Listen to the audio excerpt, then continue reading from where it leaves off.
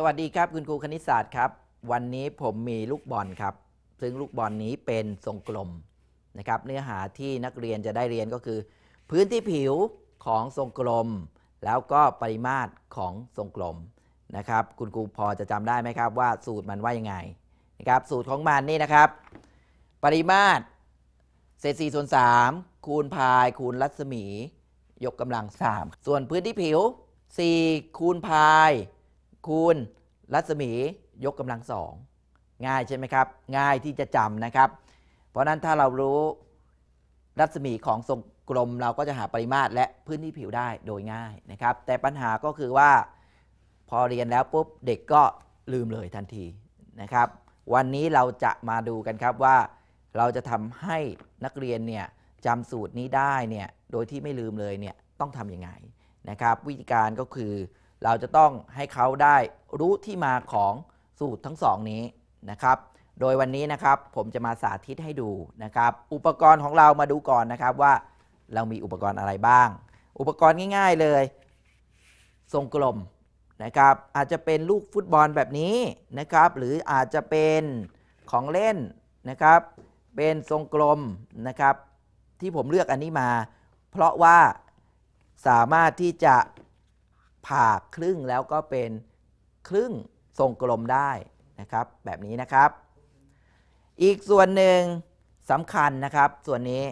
นี่คือทรงกระบอกนะครับ ซึ่งก็เป็นกล่องขนมนะครับ หาได้ทั่วไปนะครับ ผมนำมาตัดนะครับ ตัดแค่ไหนนะครับ ตัดให้ทรงกลมนี้นะครับอยู่ ข้างในได้พอดี พอดีนี่หมายถึงว่าพอดีเป๊ะเลยนะครับ เดี๋ยวผมจะวาดให้ดูนะครับ ทรงกระบอกนะครับ และตรงนี้เป็นจุดศูนย์กลางของฐานของทรงกระบอกนะครับ ทรงกลมนี่จะต้องอยู่ข้างในได้พอดีแบบนี้เลยนะครับ เพราะฉะนั้นถ้าทรงกลมนี้รัศมี r หน่วยนะครับ ส่วนสูงของทรงกระบอกนี้ก็ต้องเป็น 2 เท่าของ รัศมีของทรงกลมนะครับ โอเคนะครับ ต่อไปครับเราทำยังไง เราจะต้องหาความสัมพันธ์ของปริมาตรของทรงกลม กับปริมาตรของทรงกระบอกให้ได้นะครับ วิธีการก็คือด้วยการตวงนะครับ ก็ต้องมีสิ่งที่จะต้องใช้ตวงใส่ลงไป ในที่นี้เลือกเม็ดโฟมสีสีนี้นะครับเราอาจจะใช้น้ำหรือเมล็ดพืชก็ได้ เม็ดตัวเขียวอะไรก็ได้นะครับ เดี๋ยวลองดูนะครับ ผมจะ ตวงให้ดูนะครับนี่นะครับหนึ่งครั้งได้เท่านี้ครับนะครับสองครั้งครับ ครั้งที่สองได้เท่านี้ครับนะครับ คิดว่าอีกครั้งหนึ่งนี่มันจะเต็มพอดีไหมฮะลองดูครับ ครั้งที่สามนะครับ เต็มพอดีเลย ครับ เราจะเห็นว่าต้องตวง 3 ครั้งแล้ว 3 ครั้งพอดีเลยนะครับ เราก็จะได้ความสัมพันธ์ของปริมาตรของทรงกระบอก กับปริมาตรของนี่ครับ ของอะไรครับ 1 2 3 เท่ากับปริมาตรของทรงกระบอกนะครับ ครับจากตรงนี้เรามาลองเขียนสมการกันครับ นี่นะครับ นี่คือปริมาตรของทรงกระบอก เนี่ยรูปเป็นอย่างนี้นะครับ ซึ่งความรัศมีเป็นเท่าไหร่นะครับ r และสูงเท่าไหร่นะครับ 2r ซึ่งปริมาตรคือ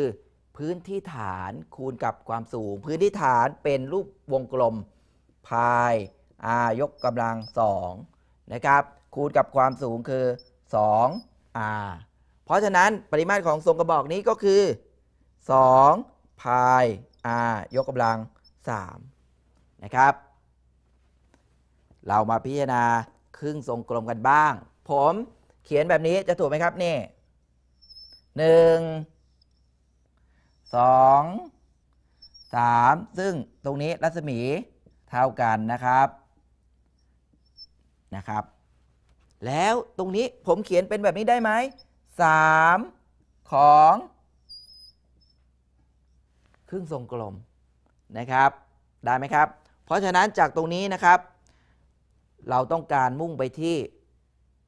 ทรงกลมใช่ไหมครับ ทรงกลมนี่จะต้องมีสองครึ่งนะครับ เพราะฉะนั้นตรงนี้ถ้าเรา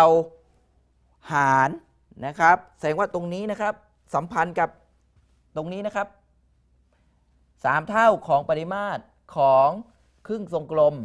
จะเท่ากับปริมาตรของทรงกระบอก ซึ่งคือ 2 คูณพายคูณ r ยกกำลัง3นะครับ เพราะฉะนั้นส่วนเดียวนะครับ ก็จะต้องเท่ากับ 2 พาย r ยกกำลัง 3 หารด้วย 3 ถูกไหมครับ ทีนี้ทรงกลมนะครับ ก็ต้องใช้ 2 ส่วน เพราะฉะนั้น ทรงกลมนะครับ ก็จะต้องเท่ากับ เท่าไหร่ครับ 2 คูณด้านนี้ก็จะเป็น 4 พาย r ยกกำลัง 3 ส่วน 3 นี่ครับ ง่ายไหมครับ เพราะฉะนั้น ปริมาตรของทรงกลม คือสูตรเศษ4ส่วน3คูณพายคูณ r ยกกำลัง 3 เห็นไหมครับ ง่ายไหมครับ เดี๋ยวผมโชว์เขียนไว้ก่อนนะครับ เขียนไว้ก่อน ปริมาตร ของทรงกลมนะครับ สูตรว่ายังไงนะครับ เศษ4ส่วน3คูณพายคูณกับรัศมียกกำลัง 3 ครับ แบบนี้ครับคุณครูครับ ง่ายใช่ไหมครับ ต่อไปครับ พื้นที่ผิวของทรงกลมเอเราจะหายังไงนะครับ ผมมีอุปกรณ์อีกชุดหนึ่งนะครับ ขอเก็บอุปกรณ์ชุดนี้ก่อนนะครับ เรามีอีกชุดหนึ่งนะครับ ซึ่งอีกชุดหนึ่งนี่ครับผมนี่ครับผมคุณครูครับ เราจะใช้ผลไม้ที่มีลักษณะคล้ายกับทรงกลมนะครับ อาจจะเป็นฝรั่งแอปเปิลหรือมะเขือนะครับ ถ้าไม่ถ้าไม่กลมเราก็อาจจะมีด เอามีดปอกแล้วก็ให้ดูคล้ายกับลักษณะของทรงกลมนะครับ ขั้นตอนทำยังไงนะครับ ขั้นตอนเดี๋ยววันนี้ผมขอเรียกฝรั่งนะครับ ผมขอเรียกฝรั่งนะครับ ขั้นตอนผ่าเลยครับ อุปกรณ์ง่ายๆครับ เราจะผ่าฝรั่งกันเลยครับวันนี้นะครับ ผ่าครั้งที่หนึ่งผ่าให้ผ่านจุดศูนย์กลางของลูกฝรั่งนี้นะครับ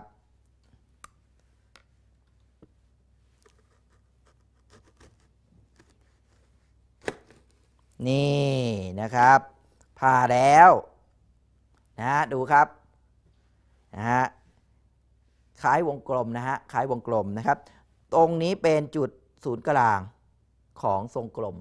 พอดีเลยนะครับ เดี๋ยวผมจะผ่าอีกนะครับ ผมจะผ่าต่อนะฮะให้ผ่านจุดศูนย์กลางพอดีเลยนี่ผมผ่าแล้วผมก็ผ่าอีกนะครับ ลองสังเกตครับ ลองสังเกตครับว่าเกิดอะไรขึ้นนะครับเนี่ยนะตอนนี้หน้าตาเป็นแบบนี้ละนะครับ เดี๋ยวผมจะผ่าต่อให้เป็นชิ้นเล็ก ๆ หน่อย ตอนนี้ชิ้นใหญ่ แต่ผมก็ยังผ่าให้ผ่านจุดศูนย์กลางของทรงกลมไปเรื่อยๆนะครับ ผ่าไปเรื่อยๆนะครับนะฮะนี่จริงๆผ่าได้อีกนะครับ ผ่าได้เล็กมากเลยผ่าไปเรื่อยๆนะครับ เอาเอาเป็นว่าเล็กเท่านี้ก็แล้วกัน นี่สังเกตครับคุณครูครับ สังเกตครับ นี่นะฮะคล้ายกับรูปอะไรครับ คล้ายกับรูปอะไรครับนะฮะคล้ายกับนี่ครับพีระมิดครับคล้ายกับพีระมิดครับ ซึ่งชิ้นนี้นะครับฐานนะครับ ฐานจะเป็นรูป สามเหลี่ยมนะฮะคล้ายกับรูปนี้เลยนะครับ จริง ๆ ฐานจะเป็นรูปอะไรก็ได้นะครับ แปลว่า เราตัดออกเป็นชิ้นเล็กๆเนี่ยได้เยอะแยะมากมายเลยนะครับ เดี๋ยวเรามาดูที่กระดานกันนะครับว่าสถานการณ์ตรงนี้นี่หมายความว่าอย่างไรนะครับ หมายความว่าอย่างนี้ครับ นี่เป็นฝรั่งทรงกลมของเรานะครับ ซึ่งถูกผ่าออกเป็นชิ้นเล็กๆ เป็นพีระมิดชิ้นเล็ก ๆ เต็มเลยนะครับนะครับ อันนี้เป็นรูปเป็นฐานสามเหลี่ยมนะครับนี่ฐานนะครับ ตรงนี้อาจจะเป็นฐานสี่เหลี่ยมนะครับ แล้วแต่จะตัดนะครับนะอาจจะเป็นรูปอื่นๆอีกนะฐานอื่นๆอีกนะครับ นี่ก็เป็นฐาน เอาตัดไปสักเอ็นรูปก็แล้วกันนะครับ นี่รูปสุดท้ายนะครับ รูปที่ n นะฮะนี่นี่คือรูปที่ 1 รูปที่ 2 รูปที่ 3 4 5 6 7 8 ไปเรื่อยๆ จนถึง n นะครับเยอะแยะเลยนะครับเป็นชิ้นเล็กๆ เรามาดูกันครับครับ ตรงจุดยอดของพีระมิดหรือหรือตรงจุดยอดของฝรั่งเนี่ยนะครับ จะเป็นจุดศูนย์กลางของทรงกลมหรือของลูกฝรั่งลูกนี้นั่นเองนะครับ แล้วส่วนนี้ไม่รู้ครับพื้นที่ฐานตรงนี้ สมมุติเป็น A1 นะครับ A1 ตารางหน่วยนะครับ ตรงนี้เป็น A2 ตารางหน่วย ตรงนี้เป็น A3 ตารางหน่วยไปเรื่อยๆ รูปสุดท้าย AN ตารางหน่วยนะครับ อีกส่วนหนึ่งที่อยากจะบอกนะครับ ความสูงของพีระมิดนี้นะครับ ความสูงของพีระมิดนี้ เนื่องจากว่าจุดยอดนี้เป็นจุดศูนย์กลางนะครับ เพราะนั้นความสูงเท่ากับรัศมี ของทรงกลมนะครับ ทุกรูปเลยนะครับ เท่ากันเลยนะครับ เท่ากันเลยนะฮะรูปสุดท้ายด้วย รูปที่ n ด้วยนะครับ เพียงแต่พื้นที่ฐานไม่เท่ากันนะครับ เราลองมาหาปริมาตรของพีระมิดนะครับ เศษหนึ่งส่วนสามคูณพื้นที่ฐาน คูณความสูงนี่คือปริมาตรของพีระมิดรูปที่ 1 รูปที่ 2 ก็ ใช้สูตรเดียวกันครับ a 2คูณรัศมี รูปที่ 3 ครับเศษหนึ่งส่วนสามคูณ a 3คูณรัศมีแล้วก็ไปเรื่อยๆ จนมาถึงรูปสุดท้ายเศษหนึ่งส่วนสามคูณพื้นที่ฐานคูณรัศมีนะครับ นี่คือปริมาตรของแต่ละชิ้น แล้วถ้านำปริมาตรของแต่ละชิ้นมารวมกันเกิดอะไรขึ้นครับ ต้องย้อนกลับมาครับ พอรวมกันก็กลายเป็น ลูกฝรั่งสิครับ ปริมาตรของทรงกลมนั่นเอง เพราะฉะนั้นเราหาผลรวมเลยไหมครับ หาผลรวมนะครับ ผลรวมของปริมาตรของพีระมิดทั้ง n ชิ้นนี้นะครับว่าเป็นเท่าไหร่ ลองสังเกตนะครับ1เซน1คูณ3 r เซน1คูณ3 r มีอยู่ทุกๆชิ้นเลย เพราะฉะนั้นเราสามารถ ดึงเซน1คูณ3 r ออกมาได้นะครับ แล้วที่เหลือคือ a 1บวก a 2บวก a 3บวกไปเรื่อย ๆ ครับ จนถึงรูปสุดท้ายพื้นที่ฐานเป็น an นะครับ ทิ้งไว้ตรงนี้ก่อน ขอกลับมาดูที่นี่ ทรงกลม เมื่อกี้นี่เราเพิ่งหาไปได้นะครับ อยู่ตรงนี้ครับ ปริมาตรของทรงกลมเศษ4ส่วน3คูณพายคูณ r ยกกำลัง 3 เพราะฉะนั้นเขียนตรงนี้เลยนะครับ เศษ4ส่วน3คูณพายคูณ r ยกกำลัง 3 ต้องเท่ากับ ถูกไหมครับ เท่ากับ ทางด้านขวานี้นะครับ ทีนี้ถ้าผมหารทางด้านซ้ายนี้นะครับด้วย r แล้วก็คูณด้วย 3 จะเกิดอะไรขึ้น นะครับ หารด้วยหารด้วย r คูณด้วย 3 ตรงนี้ก็จะเหลือ 4 พาย r ยกกำลังสองนะครับ แล้วทางขวาละครับเซนหนึ่งคูณสาม r ตรงนี้ก็หายไปแล้ว ซึ่งที่เหลือก็คือ ผลบวกของ a 1บวก a 2บวก a 3บวก a n ซึ่งคืออะไรครับเนี่ย นี่ก็คือ พื้นที่ ผิวของทรงกลมนั่นเองนะครับ เพราะฉะนั้น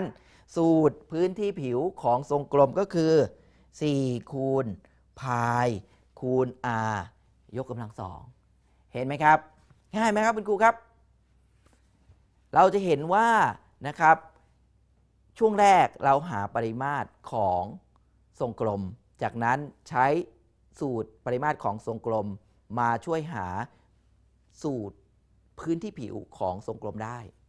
นะครับเห็นไหมครับ เราใช้วัสดุง่ายๆ แล้วให้ได้ปฏิบัติให้ได้ทดลองแบบนี้นะครับ รับรองว่าเด็กๆผู้เรียนของเราก็จะจำสูตรนี้ได้แล้วก็สนุกกับการเรียนคณิตศาสตร์ครับ วันนี้หวังว่าคุณครูคงจะ